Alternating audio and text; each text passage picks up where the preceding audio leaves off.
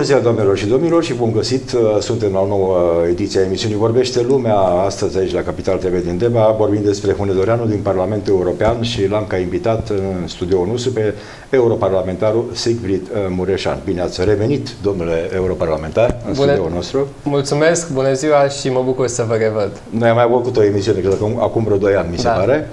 Uh, E, zic că pentru noi o mândrie că avem un reprezentant în Parlamentul European, mai avem încă un uh, reprezentant, putem spune, da, din Hunedoara, domnul uh, Winkler, domnul Winkler așa. Da.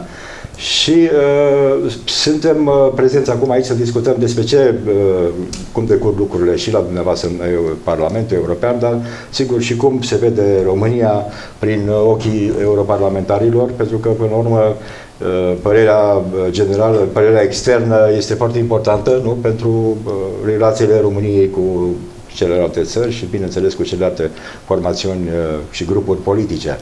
Da, să începem, așa cum se spune, cu uh, prima parte a existenței dumneavoastră. V-ați născut în Hunedoara, înțeleg. Da? Așa este. La Hunedoara m-am născut, la Hunedoara am crescut, am fost la școală, părinții mei uh, trăiesc și acum în Hunedoara, au fost toată viața profesori uh, aici, deci pentru mine există un singur loc care se numește acasă și acela e Hunedoara, indiferent de multele locuri prin care, prin natura activității mele, merg. Acum, când ești membru al Parlamentului European, trebuie să fie o săptămână săptămână pe lună, în fiecare lună la Strasburg, avem sesiune plenară, restul săptămânilor la Bruxelles, iar sfârșiturile de săptămână trebuie să fii prin țară, sunt mult la București, dar merg și mult în județele țării.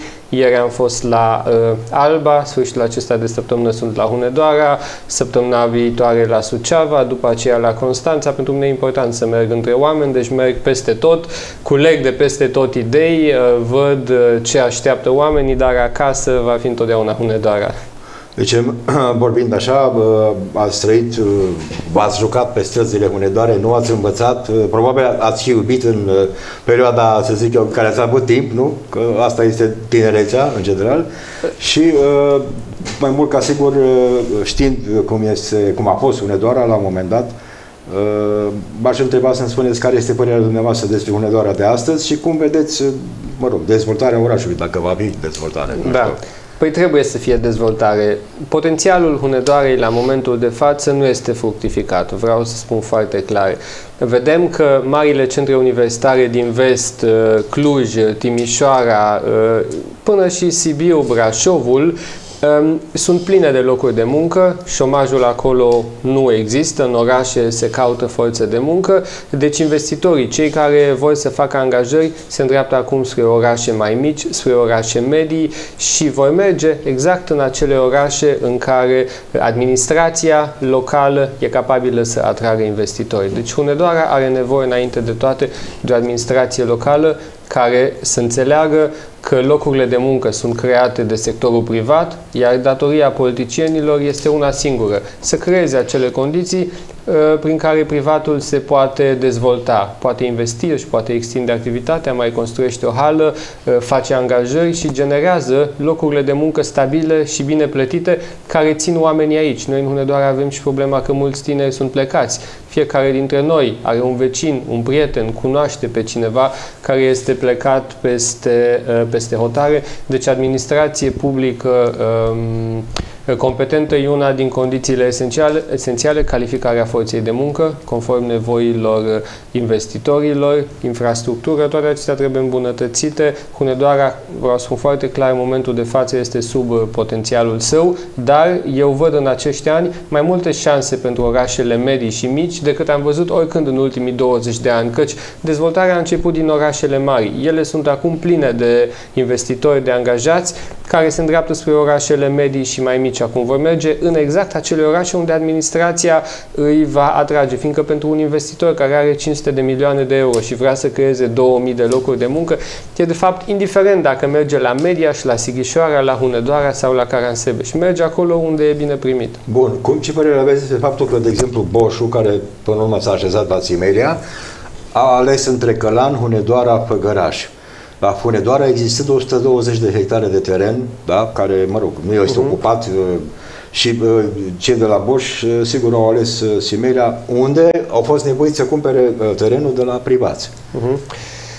Exact. E exact un exemplu al ceea ce spuneam mai devreme. Uh, administrația locală trebuie să pună la dispoziția investitorului care vine și vrea să creeze locuri de muncă în limita legii, facilități, facilități fiscale, terenurile de care are nevoie uh, pentru a-și construi hale, cel care e deja acolo și dorește să extindă, să uh, acelea să fie create condițiile pentru, um, pentru extindere, fiindcă la sfârșitul zilei e în interesul uh, politicianului ca oamenii să aibă locuri de muncă aici, să rămână aici, orașele se poate dezvolta. Deci nu voi înțelege niciodată un om politic care are la îndemână instrumentele pentru a atrage un investitor, a pune la lucru um, uh, resursele pe care um, autoritatea publică le are, nu voi înțelege niciodată un om politic care nu va pune la lucru aceste resurse uh, și iată investitorul merge în alt oraș chiar cu costuri uh, mai mari pentru noi, pentru județul Hunedoara e bine că Boș a venit, Corect, să ne da. înțelegem. Da, da, da. Dar uh, Bun, uh, putea fi, uh,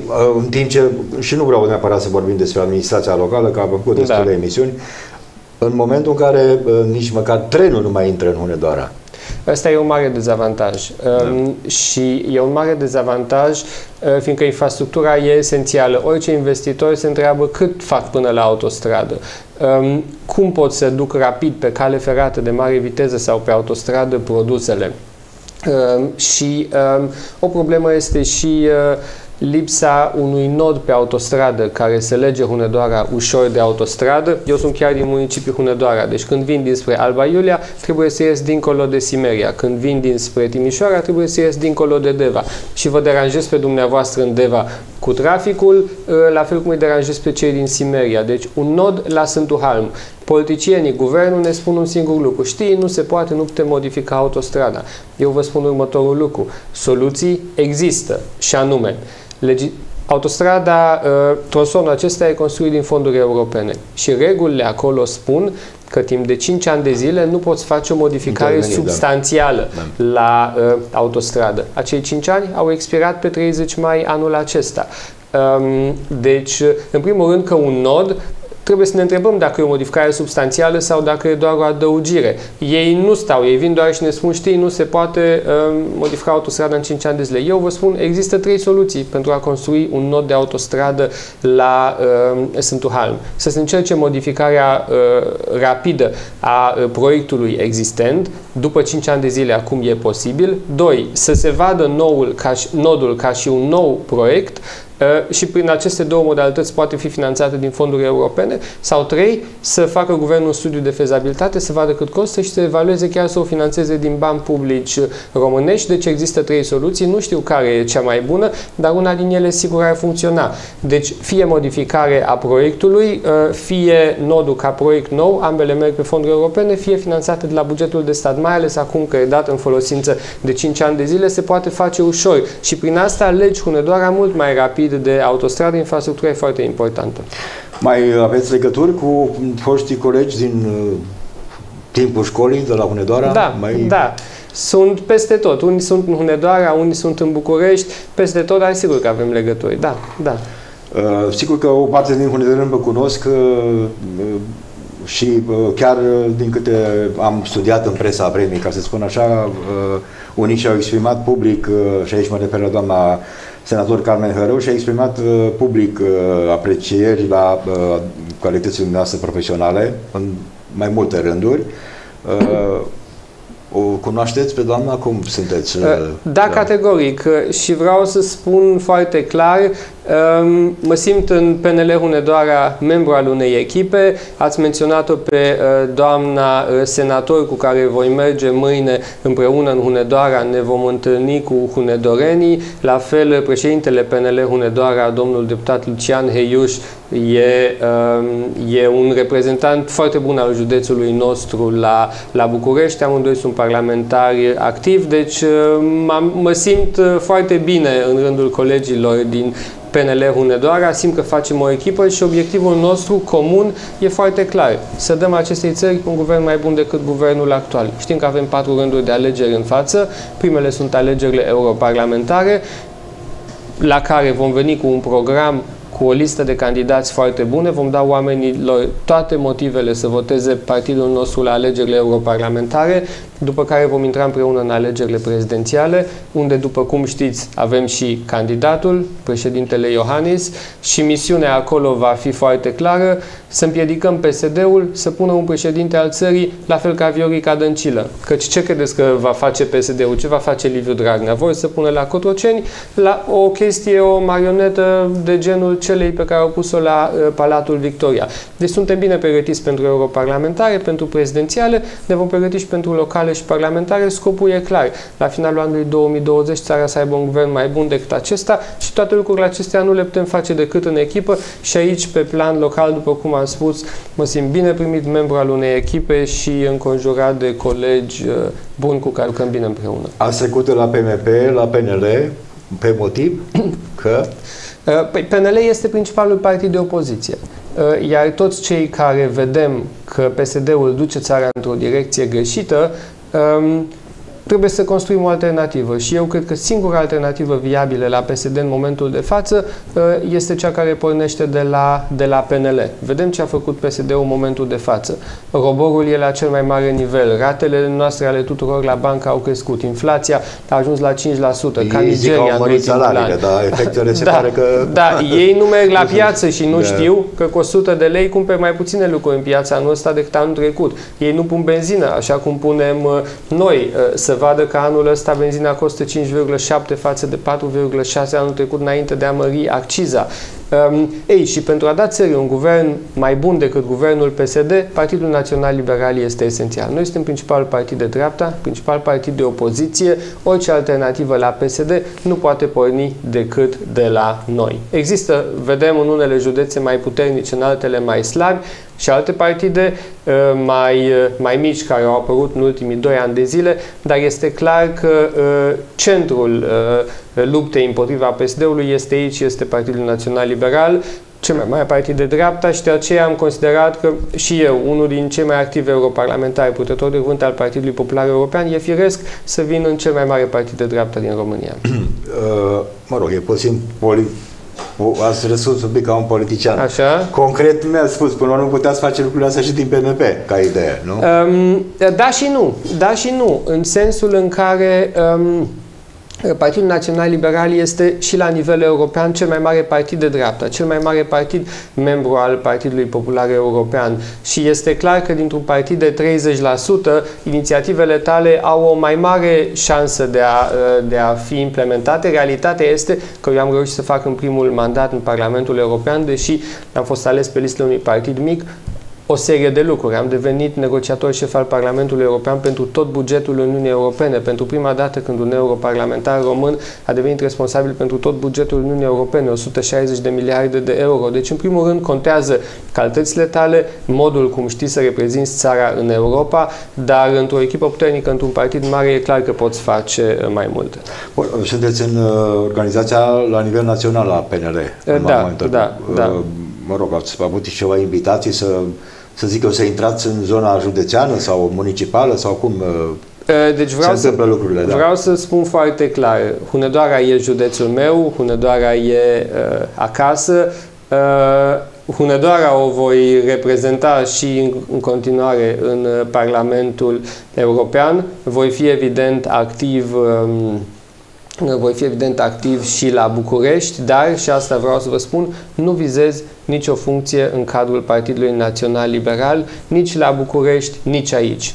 Rolul meu este la alegerile europarlamentare să pun la dispoziția partidului experiența, activitatea mea de până acum și să dăm o perspectivă um, oamenilor, să arătăm oamenilor că venim cu o listă bună, cu cei mai buni uh, candidați și după aceea la următoarele alegeri, la locale și la parlamentare, rolul meu va fi să sprijin candidații Partidului Național Liberal, să fac echipă cu ei, mă veți vedea la DEVA împreună cu domnul primar, gândindu-ne împreună cum putem atrage cât mai multe fonduri europene, cum putem cumpăra autobuze modernizate moderniza școli, reabilita uh, blocuri, construi, moderniza străzi, um, uh, și la fel și cu primarii și candidații noștri de primar în alte municipii, orașe și comune, și la parlamentare voi sprijini candidații noștri pentru Parlamentul Național, deci pentru a răspunde um, întrebării dumneavoastră unde vă vom vedea politic, mă veți vedea Corect, în echipa da. Partidului Național Liberal, dar nu mă veți vedea uh, vizând niciuna din funcțiile, uh, nicio funcție politică în partid, nici la București, nici aici și nu mă veți vedea luând locul niciunui alt coleg, din potrivă mă veți vedea sprijinind-mi colegii care uh, au făcut treabă bună în Parlamentul Național sau în administrația locală sau colegii care vor să câștige primării, care încă nu sunt primari și vor să câștige o primărie care e dominată de PSD acum, fiindcă au idei uh, bune pentru orașele lor. răspunsul dumneavoastră generează următoarea întrebare. Da. Veți candida sau nu pentru o nouă uh, mă rog, un nou mandat de europarlamentar? Răspunsul la întrebarea dumneavoastră este da. Noi, în Partidul Național Liberal, am stabilit pe 4 august următorul lucru. am zis așa, nu oricine poate reprezenta România la nivel european. De aceea vom selecta cu mare grijă candidații. Și fiindcă suntem un partid corect, am stabilit lista de criterii și un calendar pentru alegerea candidaților. Și calendarul Partidului Național Liberal pentru alegerea candidaților pentru europarlamentare este următorul. Până pe 1 octombrie se depun la București candidaturile. Trebuie să spui cine ești, ce activitate ai avut până acum, profesional, trebuie să ai o valoare, ce activitate politică ai avut, administrativă, legislativă, adică ce a rămas în urma ta până acum. Și acolo eu am ce pune după patru ani de uh, muncă în Parlamentul European, în care am negociat bugetul Uniunii Europene, vin mai multe fonduri pentru coeziune, pentru agricultură, pentru fermieri, pentru tineri în România, mai multe burse pentru studenți Erasmus. Putem discuta toate aceste lucruri în detaliu. Okay. Și trebuie să vii cu un proiect pe următorii 5 ani. Aceste candidaturi le depunem până la 1 octombrie și după aceea, până la 15 noiembrie, vom stabili lista de candidați și o vom anunța, o vom face uh, publică. Deci, da, candidez la alegerile europarlamentare și avem o procedură clară pe care o vom aplica și pe 15 noiembrie mă întorc cu plăcere la dumneavoastră și vă spun aceștia da, sunt da, candidații. Corect. Cum se vede uh, situația politică din România uh, din Parlamentul European? Guvernul da. României se vede foarte rău.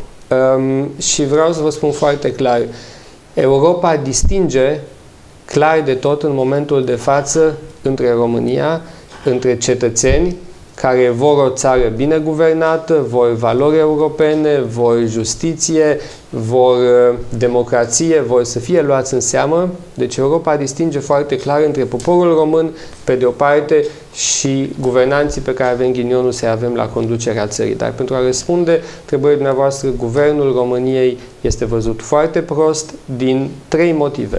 În primul rând, modul cum gestionează economic țara um, au scăpat-o din mână.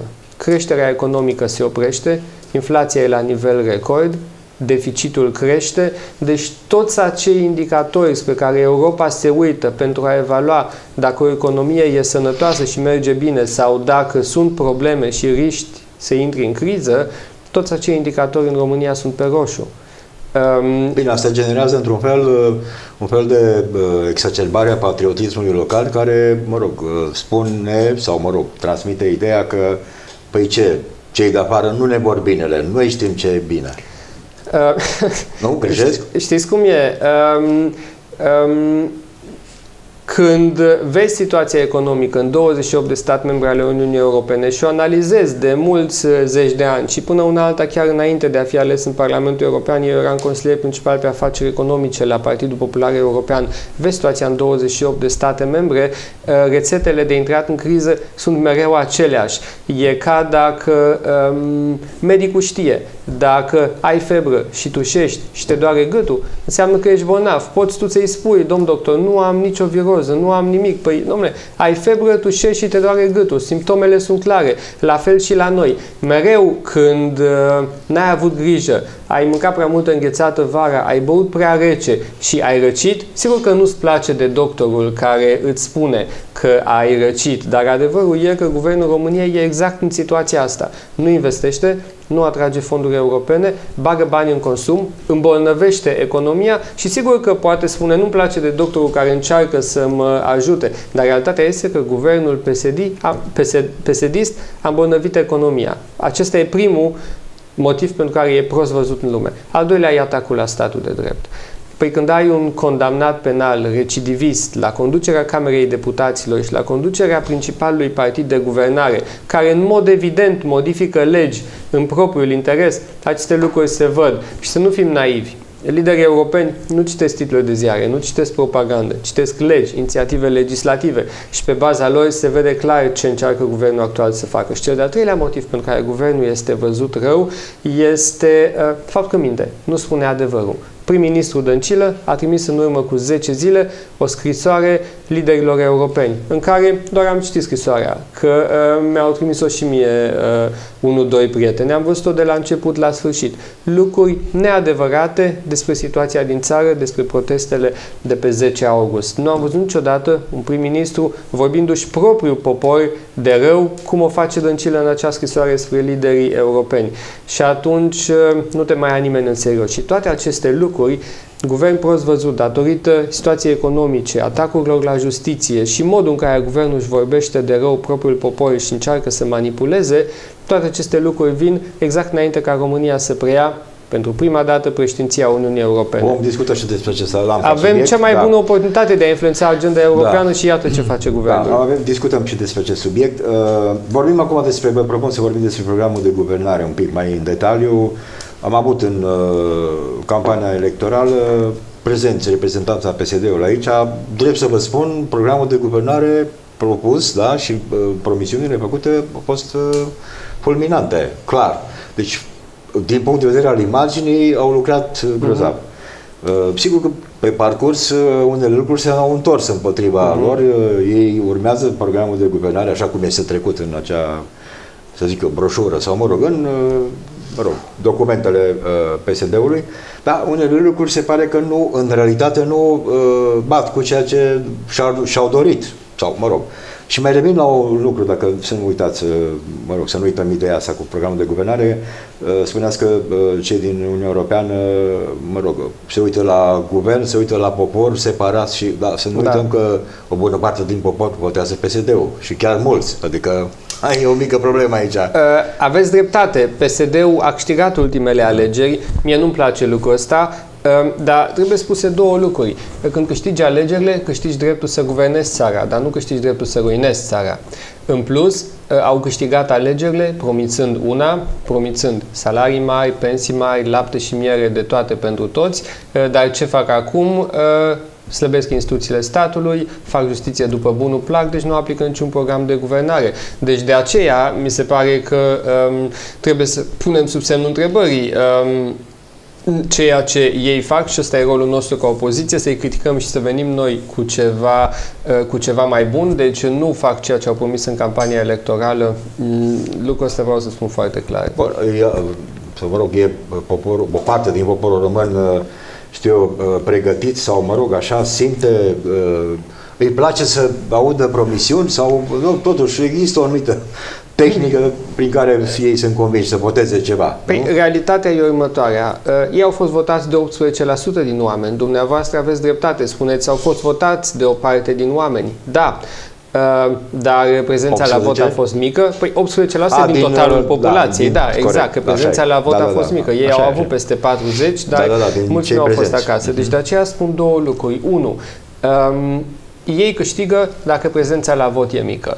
Eu vreau o prezență la vot mare, vreau ca toți oamenii să poată vota uh, și să guverneze țara cel care într-adevăr reprezintă poporul în ansamblu, nu doar pe cei care merg la guvernare. De aceea vă spun astăzi în premier aici, noi ca partid, Partidul Național Liberal, vom veni cu un proiect de lege pentru introducerea votului electronic astfel încât dacă tinerii în ziua votului vor să fie la schi la munte sau uh, la mare dacă alegerile locale sunt vara sau europarlamentare, să poată să-și vadă de viață și să poată vota electronic. Vârstnicii care nu se pot deplasa, persoanele care trăiesc în străinătate și cărora guvernul nu le face o secție de vot decât la 500 de kilometri, să poată cu toții vota. Deci noi, Partidul Național Liberal, vom veni cu un proiect de lege pentru introducerea votului electronic, fiindcă vrem să creștem prezența la vot, pentru ca cei care guvernează țara să fie într-adevăr legitimi, să nu mai avem prezență mică și un guvern care să reprezinte doar o mică parte din populație. PSD-ul vrea, și o spun foarte clar, vrea un electorat sărac. PSD-ul vrea ca noi să fim toți săraci, dependenți, controlabili, manipulabili. Și dacă mă uit pe harta țării, și eu în perioada asta călătoresc foarte mult prin țară, văd următorul lucru. Orașele conduse de primari de dreapta sunt orașe care s-au dezvoltat bine, unde nu există șomeri, există investiții și există locuri de muncă. Exemple? Alba Iulia, în care am fost ieri și am discutat două ore cu primarul Hava, Oradea, ă, condusă de primarul Partidului Național Liberal Bolojan, Timișoara, Arad, Brașov, condus de asemenea de uh, un primar gospodar al Partidului Național Liberal. La polul opus, centrele roșii ale țării, unde este sărăcie. Județul Telorman este județul cu cei mai mulți asistați social. Domnul Dragnea trăiește în județul Telorman, într-o vilă cu piscină. Uh, oamenii trăiesc în apartamente fără apă curentă, în condiții insalubre, sub conducerea lui Liviu Dragnea. Deci ce vreau să spun este, PSD-ul nu vrea locuri de muncă pentru oameni. PSD-ul vrea șomeri pe care să-i poată controla, manipula ușor prin ajutoare sociale. Asta e diferența între PSD și noi.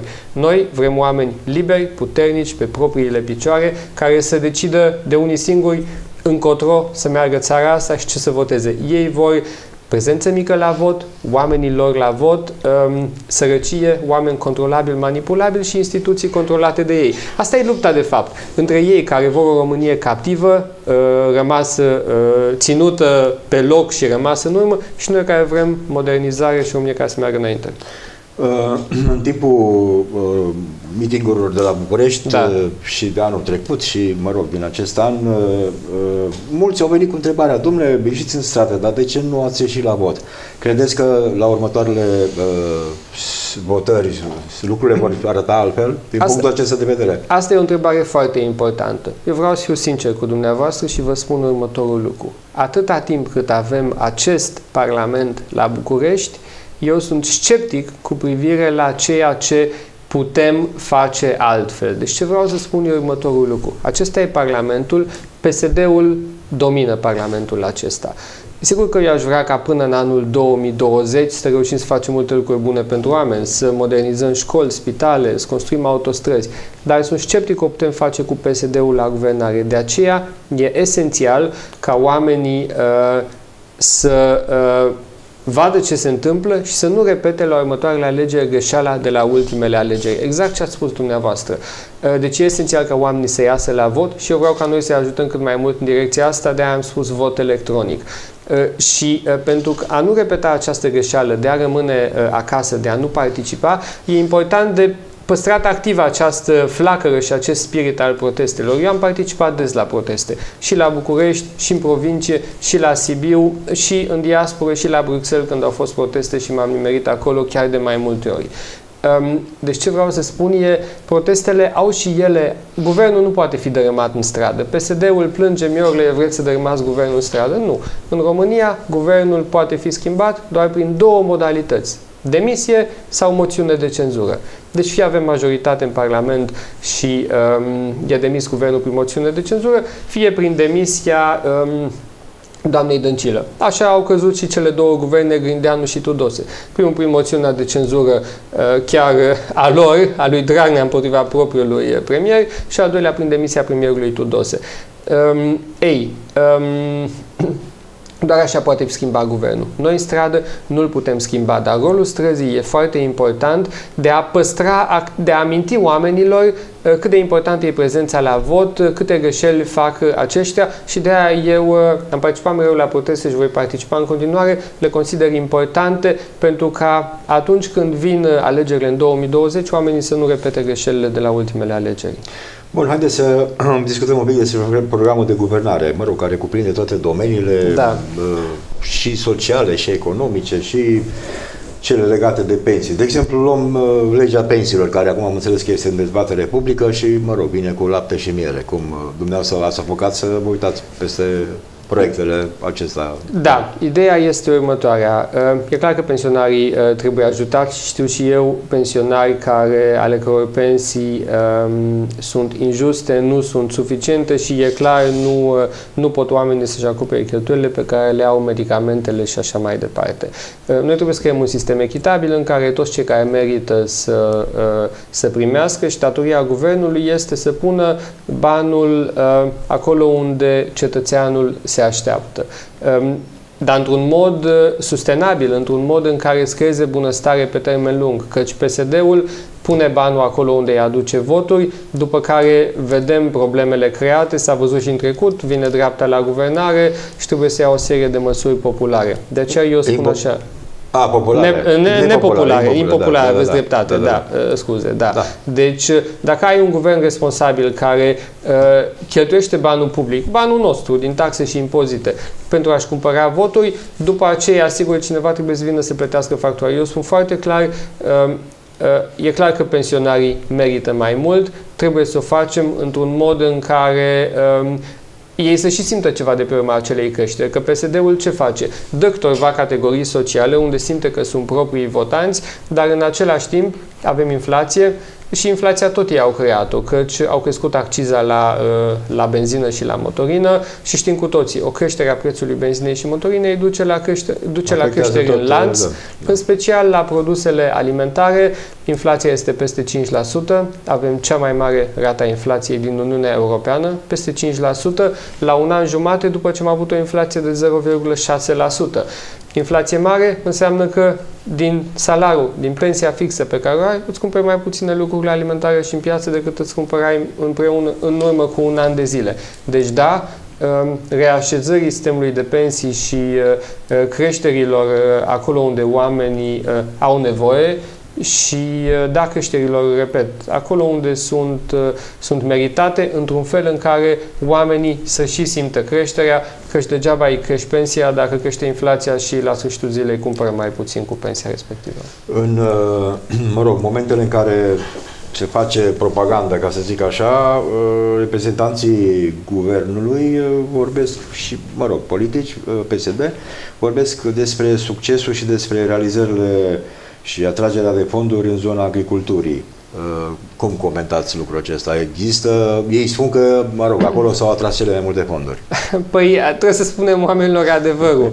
La agricultură fondurile vin automat, de aceea sunt Important, atrase. Da. Uh, acolo unde fondurile țin de guvern, suntem codași. Deci, um, oamenii trebuie să știe următorul lucru. Bugetul european, fondurile europene sunt făcute pe șapte ani de zile. De ce? Fiindcă ai nevoie de predictibilitate. Nu construiești autostradă în doi ani de zile. Ai nevoie de predictibilitate, de un plan pe termen lung. De aceea spunem șapte ani de zile. Și în acești șapte ani, în fiecare an, facem modificări, ajustări acolo în funcție de realitatea din teren.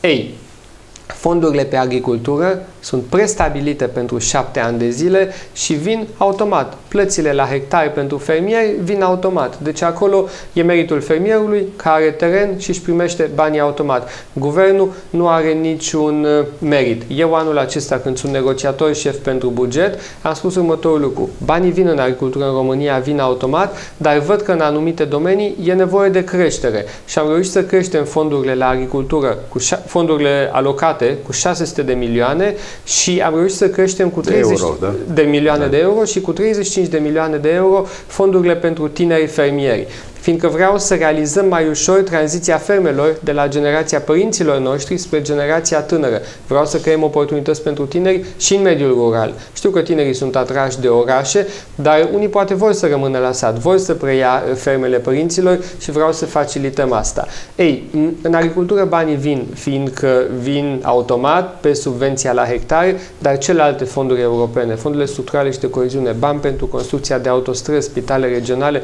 acolo guvernul stă rău. Nu mai publică din februarie pe site-ul Ministerului Finanțelor rata de absorpție, nu o mai actualizează, tocmai fiindcă stăm rău și fiindcă nu reușesc să absorbă. Eu sigur primesc aceste cifre de la Comisia Europeană și văd că la noi linia e plată. Um, România are alocate 46 de miliarde de euro fonduri europene pentru perioada 2014-2020. Foarte mulți bani din fondurile structurale și de coeziune, 25 de, um, de miliarde de euro um, alocați pe șapte ani. Au trecut deja 4 ani jumate din acești șapte ani și noi am absorbit 13%. După 4 ani jumate din 7 trebuie să fie la 60-70%, nu la 13%. Deci e clar că suntem în urmă. Autoritățile de management, aceste agenții prin care se decontează facturile la beneficiari, le-au acreditat numai în anul 2017. Deci, practic, în primii 3 ani de zile. 2014, 15, 16 nu am putut absorbi fonduri europene pe o serie de programe operaționale, că nu au avut acreditate acele autorități de management. Deci chiar deloc. Ori ei știau că trebuiau să le acrediteze. Le-a luat 3 ani jumate până în septembrie 2017 să acrediteze aceste autorități de management. Acum în sfârșit sunt uh, acreditate, dar oricum rata de absorpție e mică și suntem în urmă. Bun, uh, există voci care uh, condamnă birocrația românească, unii care, mă rog, vorbesc despre birocrația Uniunii Europene. Aici sunteți, de... cred că, în cunoștință de cauză. Da, aici da. adevărul e următorul. Regulile la nivel european sunt prea complicate și deasupra acestor reguli complicate le-am mai complicat și noi încă o dată. De aceea, eu spun, sigure, da? De aceea da. eu spun următorul lucru. Eu, ca politician, am datoria nu doar să vorbesc, ci să încerc să îmbunătățesc, să îmbunătățesc situația. Eu am spus următorul lucru. Vreau un set unic de norme și reguli pentru marile uh, axe prioritare, deci pentru autostrăzi, pentru căi ferate și așa mai departe, vreau un set unic de reguli pentru toate țările Uniunii Europene. Și um, trebuie să știți următorul lucru. Pe exercițiul bugetar actual 2014-2020, regulile nu se mai, mai pot schimba. schimba. Mm. Dar obligația mea este să mă asigur că facem regulile mai bune data viitoare. Și de aceea am spus la Comisia Europeană set unic de norme și reguli după 2021 pentru toate țările și anume reguli cât mai simple pe baza regulilor din țările care au avut rată de absorpție 98-99%. Ce au făcut mai bine polonezii cu regulile, cu lipsa birocrației, ca să aplicăm și noi. Deci, regulile din țările în care a funcționat și fără încă un strat de birocrație de la nivel național. Deci reguli unice europene, cât mai simple și uh, fără birocrație suplimentară la nivel național și am mai spus următorul lucru. Simplificare accentuată la credite mici la IMM-uri, fiindcă dacă ești o mare întreprindere, ai 5.000 de angajați și vrei să aplici pentru fonduri europene, păi atunci da, ai 5 contabili, 5 avocați, poți să faci 3 bibliografturi. Da. Dar uh, 3 uh, tineri studenți care au o idee de afacere sau un mic ONG care vrea să acceseze fonduri europene, dacă trebuie să faci documente complicate, nu știi să le faci, trebuie să angajezi un consultant. Um, te costă bani, te costă timp, în plus regulile sunt mult prea complicate. Dacă ai făcut un proiect european, trebuie să arhivezi toate documentele în original 5 ani de zile. Păi o mică firmă, un mic ONG, uh, nu are loc de arhivă. Trăim în, ep- în epoca digitală, în era digitală. Deci digitalizare, simplificare, în special la credite mici pentru întreprinzători, tineri întreprinzători, ONG-uri. La toate aceste lucruri eu lucrez ca să le simplificăm începând cu următorul exercițiu în 2021, că oamenii trebuie să știe până în 2020 regulile le-au făcut alții înaintea mea și nu mai pot fi schimbate, dar lucrez să le simplificăm din 2021. Uh, birocrația aceasta este uh, într-un fel realizată în acest fel pentru securitatea uh, fondurilor sau, mă rog, pentru controlul cât de cât să nu fie furat sau, mă rog, banii, mă rog. Uh, și, și, uh, știți cum e, sunt mulți funcționari și la nivel european, dar și ministerele din București, care trebuie să justifice existența uh, și care vor să-și manifeste creativitatea și de acolo vin o serie de reguli. Sigur că um, eu vreau să prevenim frauda, neregulile cu fonduri europene. Soția mea lucrează la Oficiul European de Luptă Antifraudă, deci eu sunt primul care vreau să uh, le venim da. de hack celor care vor să fure fonduri europene. Uh, dar am și învățat de-a lungul timpului că uh, Um, de exemplu, audit unic, adică dacă ești beneficiar de fonduri europene și ai fost auditat pentru un proiect um, și ai primit practic un certificat de bună purtare, să poți folosi acel certificat când aplici și pentru un alt proiect. Deci ce vreau să spun? Sigur că vreau control bun. Sigur că vreau uh, să le venim de hack uh, celor care fraudează fonduri europene uh, și sunt destul de mulți.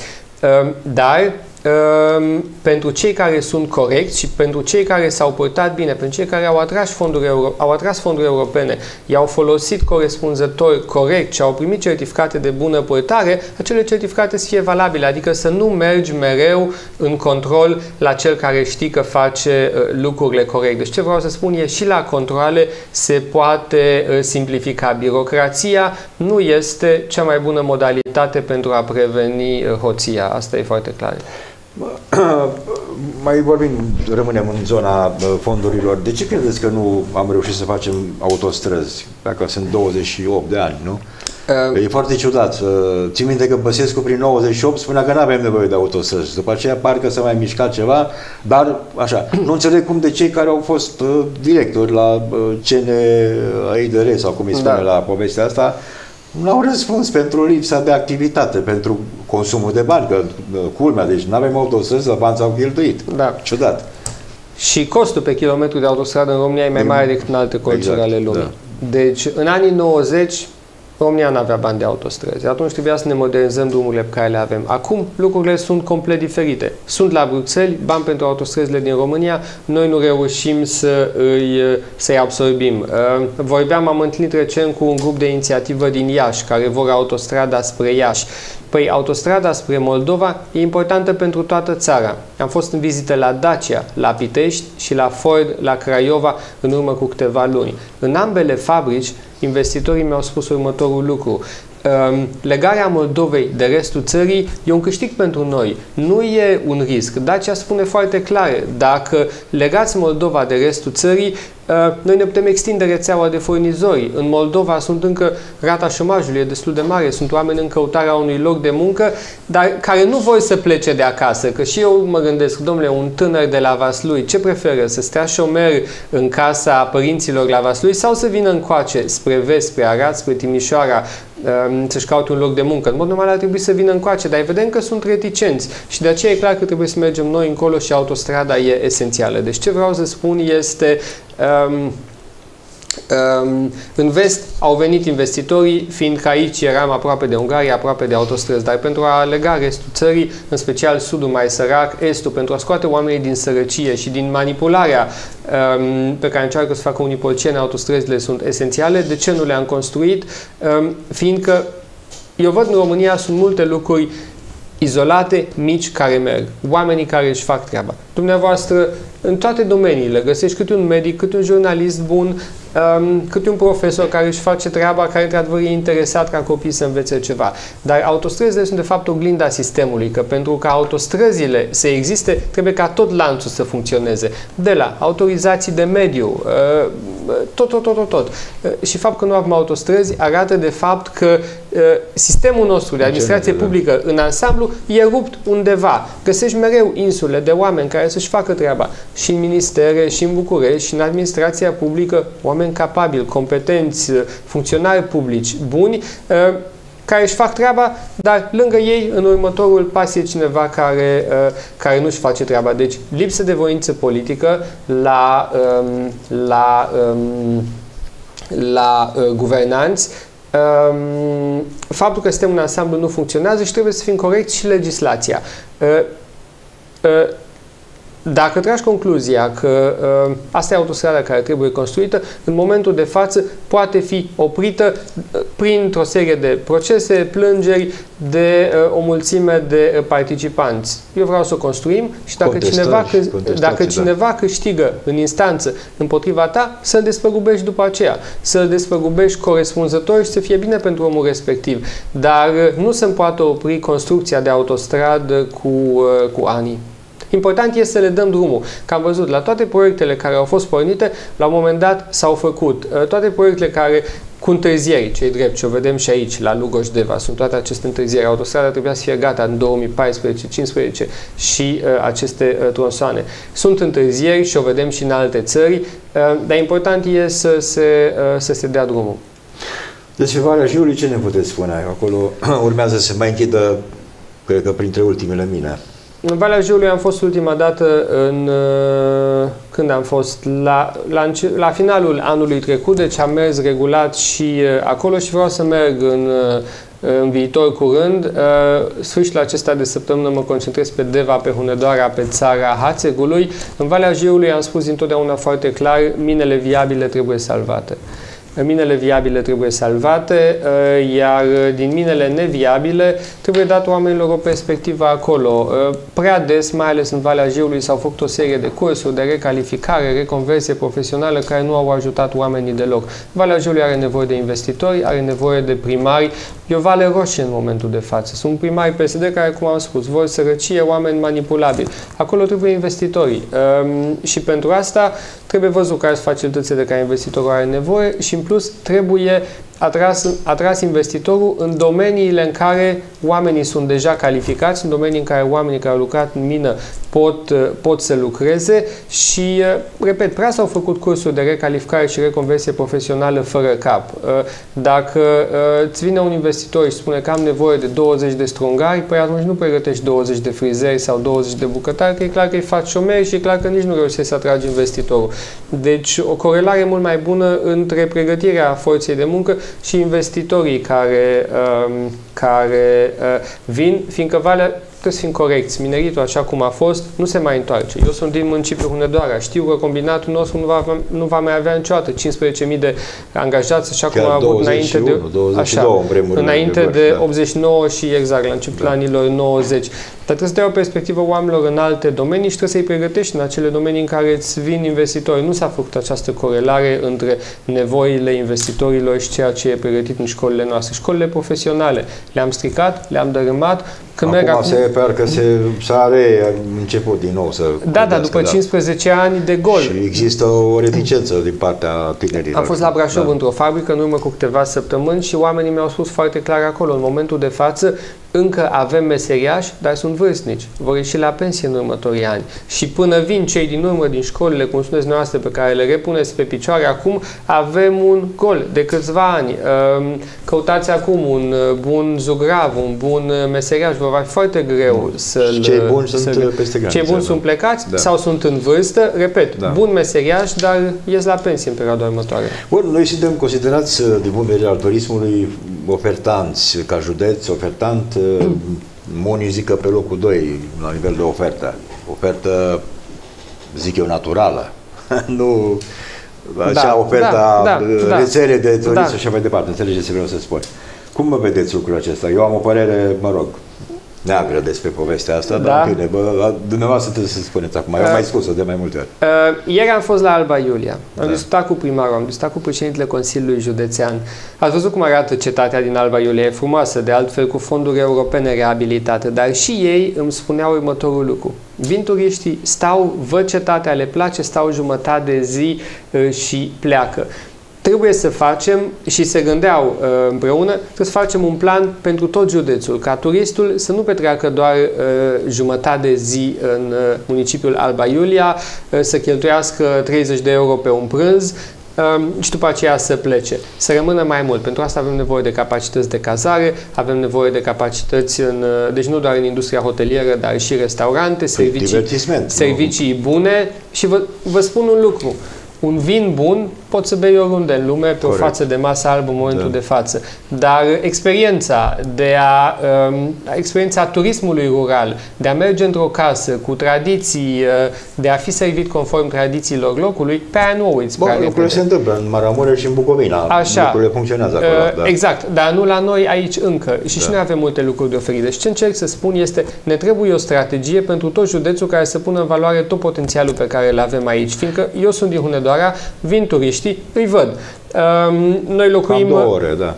Poftiți? Cam două ore durează Exact. Povestea, noi da. locuim foarte aproape de castel. Vine autocarul, intră, plătește biletul uh, și pleacă. Pe când avem atâtea lucruri de oferit în restul județului, exact cum ați spus. Deci o strategie care să țină, dar pentru asta trebuie și infrastructură, pensiuni, hoteluri, care să țină turistul 3-4 zile Și evenimente, aici. că până la urmă e un brand la ora actuală să organizezi tot felul de lucruri. O vedem, care, în, da. o vedem în Cluj. Clujul are festival de muzică, are festival de teatru, are evenimente sportive. Și Sibiu, că e mai aproape de noi. Sibiu, Brașov. Da. Um, deci, mai vorbim de Timișoara, că și Nu acolo, are, da. Bucureștiul e fosta capitală culturală Corect, a țării. Capitala da. culturală și sportivă, unde se întâmplă cele mai multe lucruri. Acum e Clujul și după cum bine ați spus și în celelalte orașe da. din Transilvania. Și vreau să văd și aici mai multe evenimente culturale, festivale, muzică, uh, film, um, teatru, care să atragă tinerii și vreau să aud și eu vorbindu-se în București, între tineri. Uh, domnule, vreau să merg în județul Hunedoara la acel uh, festival uh, weekendul următor. La noi, la Castel, la Hunedoara, se întâmplă lucruri, dar trebuie legate, trebuie făcut o strategie. Dar punctul dumneavoastră care e de vedere? Că ați spus la început că vedeți da, lucrurile mai negru.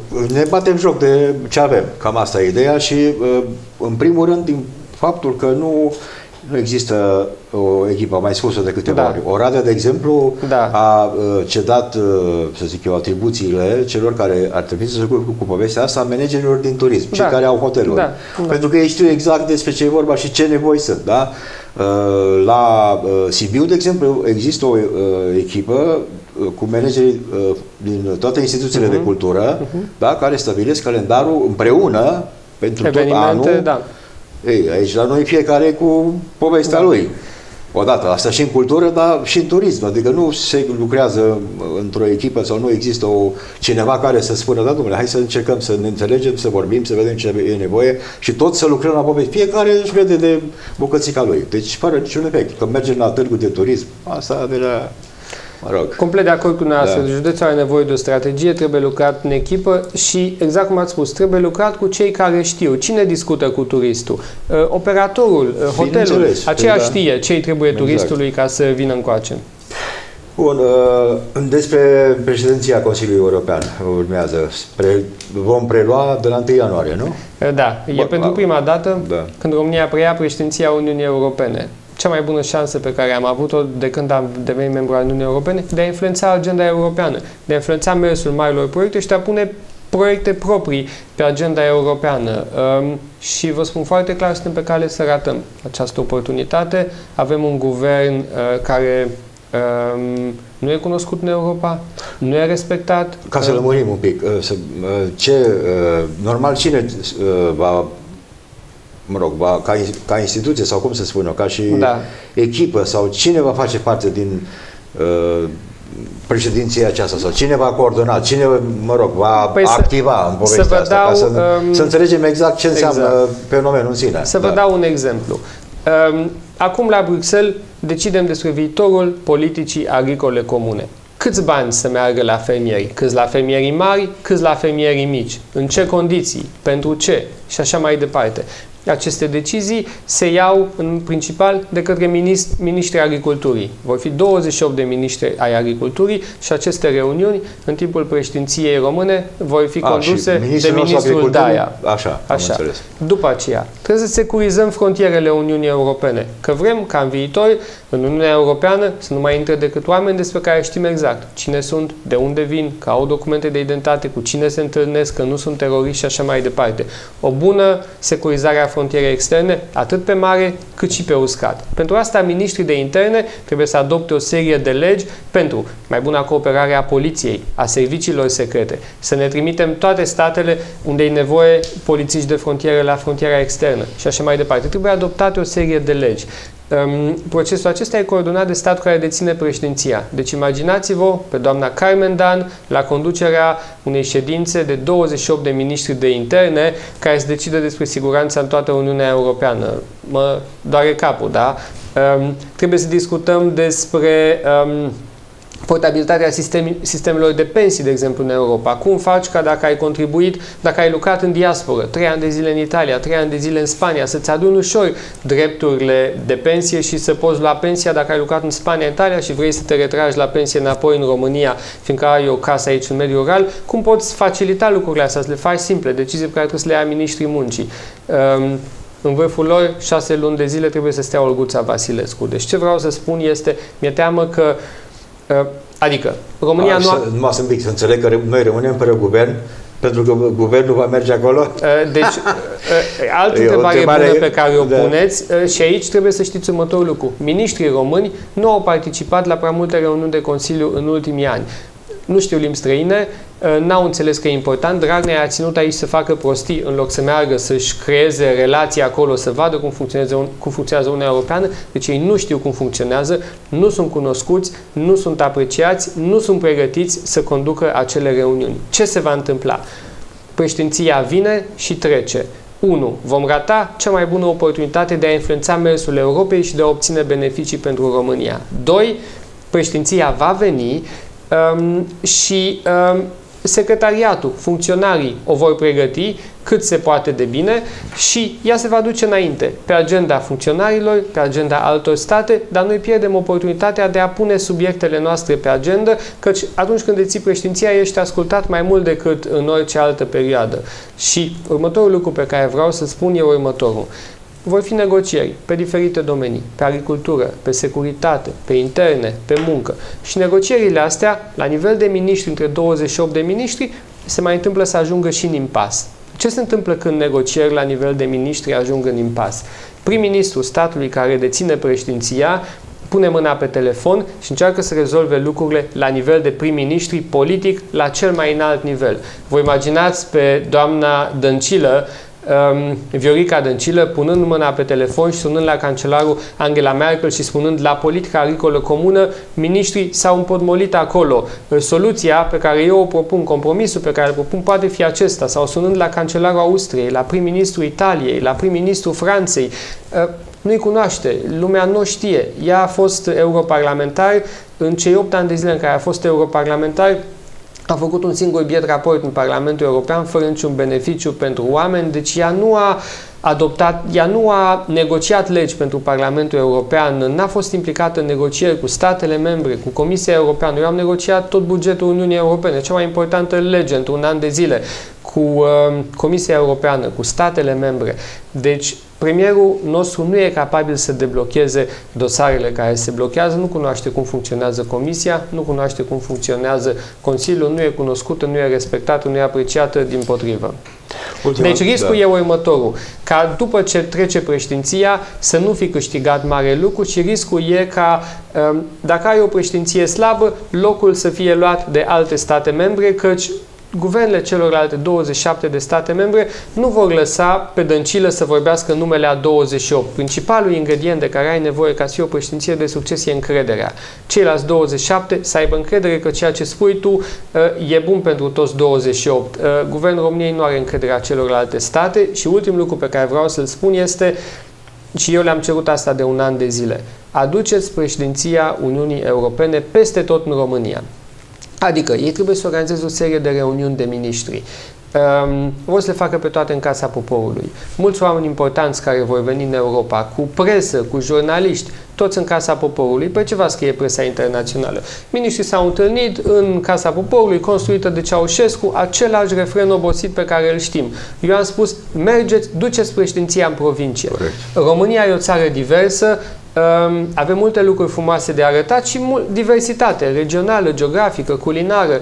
Duceți președinția în provincie, avem capacitatea să o organizăm și atunci și presa, și miniștrii care vin, și toți diplomații ar spune, uite, am fost în cutare oraș din provincie, am fost pentru prima dată, am fost surprins, mi-a plăcut, uh, te vorbește de bine. Deci vedeți președinția ca pe o investiție, ca pe o oportunitate, ei văd președinția ca pe o povară, vor să scape de ea cât mai rapid și cât mai ieftin. Uh, eu aș fi văzut-o ca pe o oportunitate de a pune toată România pe harta Uniunii Europene și de a aduce Europa cât mai aproape de oameni, căci oamenii au nevoie să fie informați, să fie educați pentru a nu, fi, uh, pentru a nu putea fi manipulați.